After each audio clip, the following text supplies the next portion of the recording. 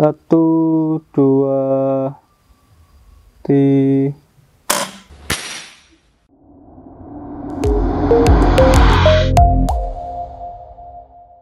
Yo sobat bidler, kembali lagi bersama saya di channel Jaya Rival Kediri Jawa Timur. Oke, kali ini saya akan uh, mengetes tes power dari senapan angin gejlok DWP Fusion 2540 hitam mini plus manometer.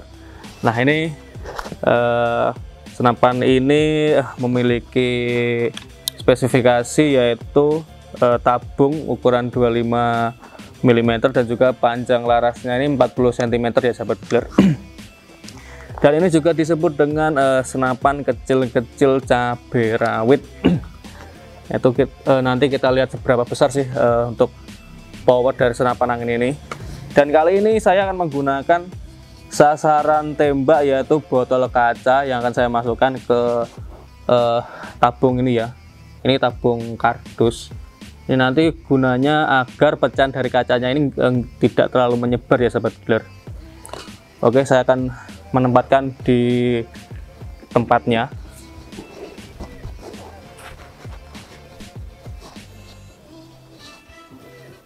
Ini saya blur saya masukkan terlebih dahulu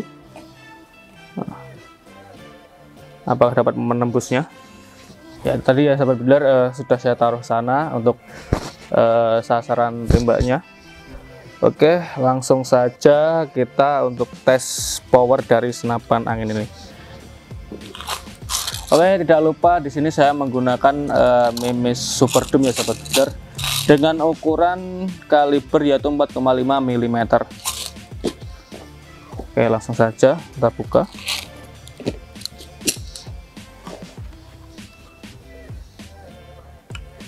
saya akan menggunakan satu kali tarikan.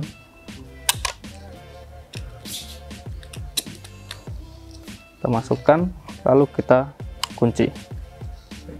Satu dua tiga.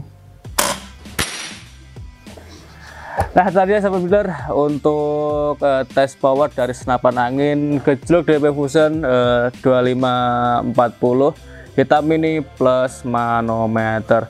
Dan jika sahabat builder yang ada di rumah uh, ingin segera memiliki uh, senapan angin ini bisa langsung klik link yang ada di deskripsi. Oke mungkin itu saja dari saya dari saya. Mungkin uh, dapat bermanfaat. Uh, jangan lupa selalu untuk uh, klik like comment share dan subscribe channel Jaya Air Rifle oke sekian dari saya. Terima kasih dan salam bediler